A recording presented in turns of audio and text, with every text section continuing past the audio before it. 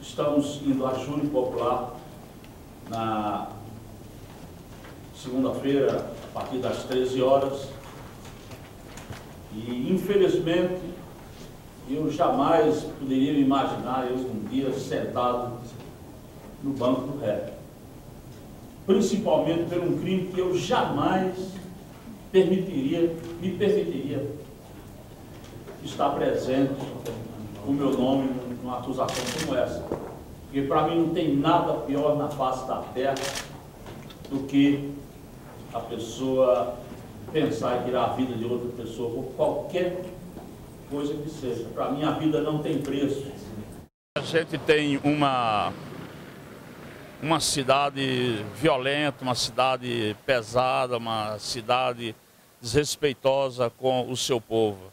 É só você ver o barulho, é você ver a poluição, é o barulho que faz parte dessa poluição sonora, é você ver o conjunto de coisas que a gente vive na, na, na nossa sociedade, onde se nós não tivermos uma grande política direcionada para a questão da urbana, nós vamos ter uma sociedade cada vez mais é, injusta, uma sociedade sem pensar na vida. E por isso é que eu percebo que poucos lutam para que se tenha uma cidade justa, uma cidade digna, poucos lutam para que se possa ter uma cidade para que todos possam viver com dignidade. Hoje sou vítima de um processo é, criminal. É, essa é a minha avaliação por conta do sistema de que nós vivemos, que é criminalizar aqueles que defendem o direito à vida.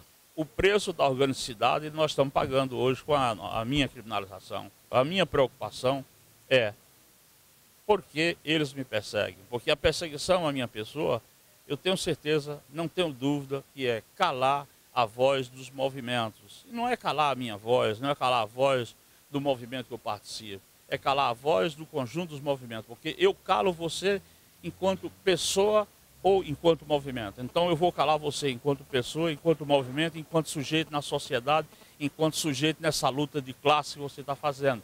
Você é uma classe, eu sou outra classe. E para mim está claro essa disputa, quando o sistema vem dessa forma. E aí o Poder Judiciário é, tem me perseguido, eu sei que essa perseguição está custando caro para mim, está custando caro para minha família, está custando caro para quem está em volta de mim, está custando caro para os meus companheiros, para as minhas companheiras, porque com certeza todos e todas, todos e todas sofrem junto comigo. Desde os 13, 14 anos eu aprendi junto com meu pai, acompanhando meu pai, indo para a roça, indo para o sindicato rural, lá no Alto Sertão da Paraíba, lá em Cabanha do Rocha, e não tinha outra opção a não ser lutar para sobreviver. E essa luta pela sobrevivência eu trago até hoje.